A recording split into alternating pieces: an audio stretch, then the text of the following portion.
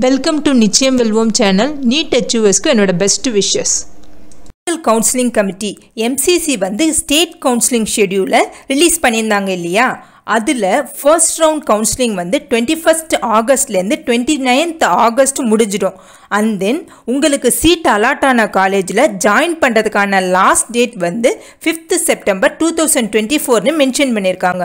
So நீங்கள் MBBS or BDS காலேஜில் join பண்ணும்போது என்னென்ன டாக்குமெண்ட்ஸ் எல்லாம் எடுத்துகிட்டு போகணும்? ஃபார் சர்டிஃபிகேட் வெரிஃபிகேஷன் பர்பஸ்க்கு இதை பற்றி தான் டீட்டெயிலாக இந்த வீடியோவில் பார்க்க போகிறோம் அதாவது ஃபுல் டே ஹோல் டே வந்து நீங்கள் அன்னைக்கு அந்த காலேஜில் ஸ்பெண்ட் பண்ணுற மாதிரி இருக்கும். ஆகஸ்ட் ஒன்பதாம் தேதி ஐந்து மணியோட தமிழ்நாடு மெடிக்கல் கவுன்சிலிங்கில் பார்ட்டிசிபேட் பண்ணுறதுக்கான ரெஜிஸ்ட்ரேஷன் க்ளோஸ் ஆகிடுச்சு. அதாவது தமிழ்நாடு மெடிக்கல் கவுன்சிலிங்கில் பார்ட்டிசிபேட் பண்ணுறதுக்கான இனிஷியல் ரெஜிஸ்ட்ரேஷன் ப்ராசஸ் முடிஞ்சிருச்சு. இந்த வருஷம் ரெண்டாயிரத்தி இருபத்தி நாலு இருபத்தஞ்சு செஷனுக்கான எம்பிபிஎஸ் பிடிஎஸ் கவுன்சிலிங்கில் பார்ட்டிசிபேட் பண்ணுறதுக்கு எத்தனை கேண்டிடேட்ஸ் வந்து அப்ளிகேஷன் போட்டிருக்காங்கன்னா நாற்பத்தி ரெண்டாயிரத்தி தொள்ளாயிரத்தி ஐம்பத்தேழு ஸ்டூடெண்ட்ஸ் வந்து தமிழ்நாடு மெடிக்கல் கவுன்சிலிங்க்கு அப்ளை பண்ணியிருக்காங்க.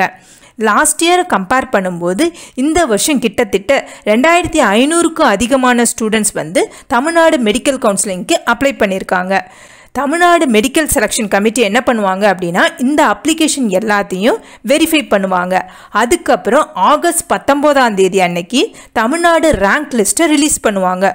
ஒன்ஸ் தமிழ்நாடு ரேங்க் லிஸ்ட்டை ரிலீஸ் பண்ணாங்கன்னா ஒவ்வொரு கேட்டகரிக்கும் எத்தனை பேர் அப்ளை பண்ணியிருக்காங்கன்ற லிஸ்ட்டை நாம் கிளியராக தெரிஞ்சுக்க முடியும். அதாவது எத்தனை கேண்டிடேட்ஸ் ஓப்பன் கேட்டகரியில் இருக்காங்க. அதுக்கப்புறம் BC BCM MBC SC SCA ST இந்த கேட்டகரியிலலாம் எத்தனை கேண்டிடேட்ஸ் இருக்காங்கன்னு நாம் தெரிஞ்சுக்க முடியும்.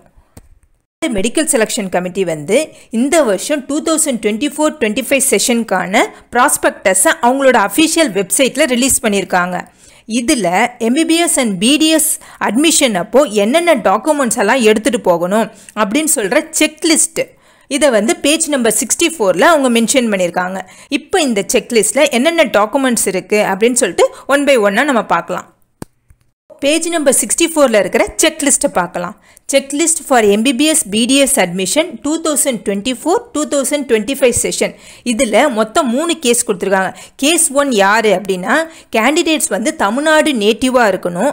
அது மட்டும் இல்லாமல் அவங்க ஆறாவது டு பன்னெண்டாவது தமிழ்நாடு ஸ்டேட்டில் இருக்கிற ஸ்கூலில் படித்த ஸ்டூடெண்ட்ஸை தான் கேஸ் ஒன்னு சொல்கிறாங்க அதாவது கேஸ் ஒன் வந்து தமிழ்நாடு நேட்டிவாக இருக்கணும். ஆறாவது டு பன்னெண்டாவது தமிழ்நாட்டில் படித்த ஸ்டூடெண்ட்ஸ் நெக்ஸ்ட்டு வந்து கேஸ் டூ இதில் யார் வராங்க அப்படின்னா தமிழ்நாடு நேட்டிவாக இருக்கிற கேண்டிடேட்ஸ் ஆனால் ஆறாவது டு பன்னெண்டாவது அவங்க பார்ஷியலாகவோ இல்லை ஃபுல்லாகவோ அவுட் சைட் தமிழ்நாடு ஸ்டேட்டில் படித்த ஸ்டூடெண்ட்ஸ் அது வந்து அதர் ஸ்டேட்டாகவும் இருக்கலாம் இல்லை ஃபாரினாகவும் இருக்கலாம். இந்த ஸ்டூடெண்ட்ஸை வந்து கேஸ் டூ அப்படின்னு சொல்லுவோம். கேஸ் த்ரீ யாரை சொல்கிறாங்க அப்படின்னா கேண்டிடேட்ஸ் வந்து தமிழ்நாடு நேட்டிவாக இல்லை. ஆனால் அவங்க ஆறாவது டு பன்னெண்டாவது கண்டினியூஸாக தமிழ்நாட்டில் படித்தவங்க அந்த ஸ்டூடெண்ட்ஸை கேஸ் த்ரீன்னு சொல்கிறாங்க அதாவது கேஸ் ஒன் வந்து நேட்டிவ் ஆஃப் தமிழ்நாடாக இருக்கணும். ஆறாவது டு பன்னெண்டாவது தமிழ்நாட்டில் இருக்கிற ஸ்கூலில் படித்தவங்க கேஸ் டூ வந்து தமிழ்நாடு நேட்டிவாக இருக்கிற கேண்டிடேட்ஸ் ஆனால் ஆறாவது டு பன்னெண்டாவது பார்ஷியலாகவோ இல்லை ஃபுல்லாகவோ அவுட் சைட் தமிழ்நாட்டில் படித்தவங்க கேஸ் த்ரீ வந்து தமிழ்நாடு நேட்டிவாக இல்லை. ஆனால் ஆறாவது டு பன்னெண்டாவது தமிழ்நாட்டில் கண்டினியூஸாக படித்தவங்க இந்த ஸ்டூடெண்ட்ஸை பேஸ் பண்ணி தான் டாக்குமெண்ட்ஸ் என்னென்ன டாக்குமெண்ட்ஸ் வேணும் அப்படின்னு சொல்லிட்டு லிஸ்ட் பண்ணியிருக்காங்க டாக்குமெண்ட்ஸோட ஒரிஜினல் காப்பீஸை நீங்கள் சர்டிஃபிகேட் வெரிஃபிகேஷனுக்கு எடுத்துகிட்டு போகணும். அது மட்டும் இல்லாமல் ஜெராக்ஸும் மூணு இல்லைன்னா அஞ்சு காப்பீஸ் வந்து எல்லா டாக்குமெண்ட்ஸையும் நீங்கள் எடுத்துகிட்டு போகணும். ஃபஸ்ட்டு என்ன சொல்லியிருக்காங்க அப்படின்னா NEET two thousand twenty four admit card அதாவது என்டிஏ ரிலீஸ் பண்ண நீட் டூ தௌசண்ட் டுவெண்ட்டி ஃபோரோட அட்மிட் கார்டை எல்லா ஸ்டூடெண்ட்ஸும் எடுத்துகிட்டு போகணும். நெக்ஸ்ட்டு என்ன சொல்லியிருக்காங்க அப்படின்னா NEET two thousand twenty four score card அதாவது என்டிஏ ரீசெண்டாக ரிலீஸ் பண்ண ரீரிவைஸ்டு ஸ்கோர் கார்டு அதை வந்து எல்லா ஸ்டூடெண்ட்ஸும் சர்டிஃபிகேட் வெரிஃபிகேஷனுக்கு எடுத்துகிட்டு போகணும். நெக்ஸ்ட்டு வந்து tenth mark sheet tenth mark ஷீட்டோட original சர்டிஃபிகேட்டை சர்டிஃபிகேட் வெரிஃபிகேஷனுக்கு நீங்கள் எடுத்துகிட்டு போகணும். அட்மிஷன் அப்போ என்ன டாக்குமெண்ட்ஸ் எடுத்துகிட்டு போகணும் அப்படின்னா டுவெல்த்து மார்க் ஷீட்டை அதாவது எல்லா ஸ்டூடெண்ட்ஸும் டுவெல்த்து மார்க் ஷீட்டை எடுத்துகிட்டு போகணும். நெக்ஸ்ட்டு வந்து ட்ரான்ஸ்ஃபர் சர்டிஃபிகேட் டுவெல்த்து கம்ப்ளீட் பண்ண ஸ்டூடெண்ட்ஸ் வந்து அவங்க ஸ்கூலில் வாங்கின டிசி அதை எடுத்துகிட்டு போகணும். இதுவும் வந்து எல்லா ஸ்டூடெண்ட்ஸும் ட்ரான்ஸ்ஃபர் சர்டிஃபிகேட் எடுத்துகிட்டு போகணும். நெக்ஸ்ட்டு வந்து nativity certificate from competent authority of Tamil Nadu இது யாருக்கெல்லாம் தேவை அப்படின்னா தமிழ்நாடு அதாவது கேஸ் ஒன் ஸ்டூடெண்ட்ஸ் தமிழ்நாடு நேட்டிவாக இருந்து ஆறாவது டு பன்னெண்டாவது தமிழ்நாட்டில் படித்த ஸ்டூடெண்ட்ஸ்க்கு நேட்டிவ் சர்டிஃபிகேட் தேவை. கேஸ் டூ ஸ்டூடெண்ட்ஸ் அதாவது தமிழ்நாடு வந்து நேட்டிவாக இருந்து ஆறாவது டு பன்னெண்டாவது பாஷ் பார்ஷியலாகவோ இல்லை ஃபுல்லாகவோ அதர் ஸ்டேட்லேயோ இல்லை ஃபாரின் கண்ட்ரீஸில் படிச்சிருந்தாலும் அந்த ஸ்டூடெண்ட்ஸும் தமிழ்நாடு நேட்டிவிட்டி சர்டிஃபிகேட்டை எடுத்துகிட்டு போகணும். கேஸ் த்ரீ ஸ்டூடெண்ட்ஸ்க்கு இந்த நேட்டிவிட்டி சர்டிஃபிகேட் தேவையில்லை. அதாவது தமிழ்நாடு நேட்டிவாக இல்லாமல் அவங்க ஆறாவது டு பன்னெண்டாவது கண்டினியூஸாக தமிழ்நாட்டில் படிச்சிருப்பாங்க இல்லையா? அந்த ஸ்டூடெண்ட்ஸ்க்கு வந்து இந்த நேட்டிவிட்டி சர்டிஃபிகேட் தேவையில்லை. அடுத்து எம்பிபிஎஸ் அண்ட் பிடிஎஸ் அட்மிஷன் அப்போது என்ன சர்டிஃபிகேட் எடுத்துகிட்டு போகணும் அப்படின்னா community certificate from competent authority of Tamil Nadu except OC அதாவது ஓசி கேட்டகரியில் இருக்கிற ஸ்டூடெண்ட்ஸ்க்கு வந்து கம்யூனிட்டி சர்டிஃபிகேட் தேவையில்லை. மற்ற எல்லா ஸ்டூடெண்ட்ஸ்க்கும் கம்யூனிட்டி சர்டிஃபிகேட் தேவை. அதாவது தமிழ்நாடு நேட்டிவாக இருந்து ஆறாவது டு பன்னெண்டாவது தமிழ்நாட்டில் படிச்சிருந்தாலும் சரி இல்லை வேறு ஸ்டேட்லேயோ இல்லை ஃபாரின் கண்ட்ரியில் படிச்சிருந்தாலும் சரி அந்த ஸ்டூடெண்ட்ஸ்க்கு எல்லாமே தமிழ்நாடு ரிசர்வேஷன் பாலிசியில் வரதுனால அவங்க கம்யூனிட்டி சர்டிஃபிகேட்டை எடுத்துகிட்டு போகணும். கேஸ் த்ரீ ஸ்டூடெண்ட்ஸ்க்கு இந்த கம்யூனிட்டி சர்டிஃபிகேட் தேவையில்லை. ஏன்னா அவங்க தமிழ்நாடு நேட்டிவ் இல்லை இல்லையா? அதனால் அவங்களுக்கு இது தேவையில்லை. நெக்ஸ்ட்டு வந்து certificate for proof of study from sixth to twelfth standard in Tamil Nadu from the head of the school where studies அதாவது ஆறாவது டு டு பன்னெண்டாவது நீங்கள் தமிழ்நாடு ஸ்கூலில் தான் படிச்சீங்க அப்படின்றதுக்கான ப்ரூஃப் அதாவது பொனஃபைட் சர்டிஃபிகேட்டோ இல்லை ஸ்கூல் ஆஃப் ஸ்டடி சர்டிஃபிகேட்டோ நீங்கள் ஆறாவது டு பன்னெண்டாவது எந்தெந்த ஸ்கூல்லலாம் படிச்சீங்களோ அந்த ஸ்கூலில் சர்டிஃபிகேட் வாங்கிட்டு சப்மிட் பண்ணணும். கேஸ் ஒன் ஸ்டூடெண்ட்ஸ் வந்து இதை வாங்கிட்டு போனோம். அதாவது ஆறாவது டு பன்னெண்டாவது தமிழ்நாட்டில் படித்தவங்க தமிழ்நாடு நேட்டிவாக இருக்கிற ஸ்டூடெண்ட்ஸ் இந்த certificate for proof of study from sixth to twelfth standard எடுத்துகிட்டு போகணும் கேஸ் டூ அதாவது அவங்க வந்து தமிழ்நாடு நேட்டிவாக இருக்கிறவங்க ஆனால் வந்து ஆறாவது டு பன்னெண்டாவது பார்ஷியலாவோ இல்லை ஃபுல்லாவோ அதர் ஸ்டேட்டில் படிச்சிருப்பாங்கல்ல அந்த ஸ்டூடெண்ட்ஸ்க்கு வந்து certificate for proof of study from sixth to twelfth standard வந்து தேவையில்லை.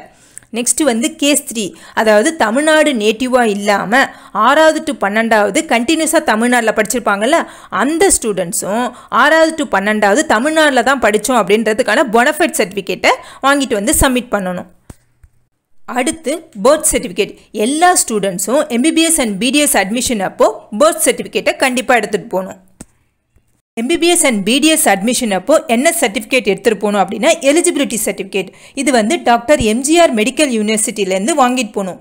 எல்லா கேண்டிடேட்ஸ்க்கும் இது கிடையாது. அதாவது Tamil Nadu state board CBSE board ICSE board அதில் படித்த கேண்டிடேட்ஸ்க்கு இந்த எலிஜிபிலிட்டி சர்டிஃபிகேட் தேவையில்லை. மற்ற போர்டில் படிச்சிருந்தாங்க.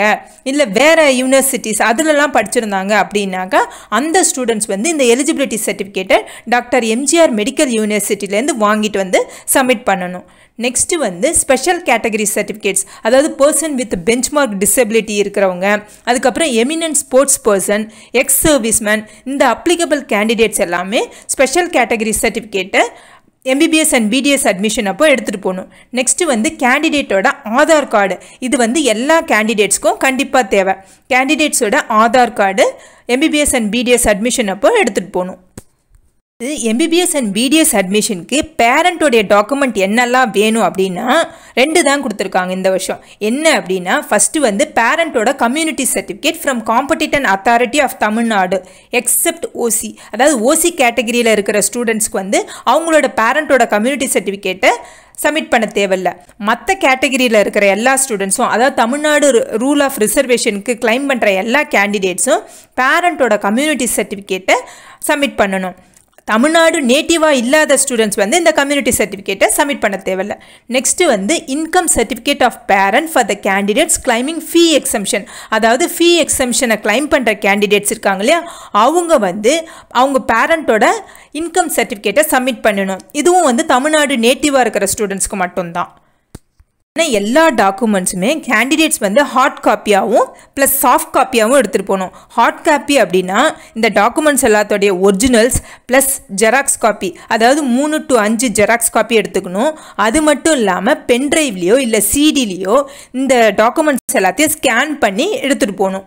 அதுக்கப்புறம் டென்த் மார்க் ஷீட் அப்படின்னா அதோடைய front side and back side ரெண்டையுமே ஸ்கேன் பண்ணி சிங்கிள் பிடிஎஃப் ஃபைலாக எடுத்துக்கணும். இதேமாரி தான் twelfth mark sheet eleventh mark sheet வந்து பப்ளிக் எக்ஸாமாக இருந்துச்சுன்னா லெவன்த் மார்க் ஷீட்டையும் நீங்கள் எடுத்துகிட்டு போகணும்.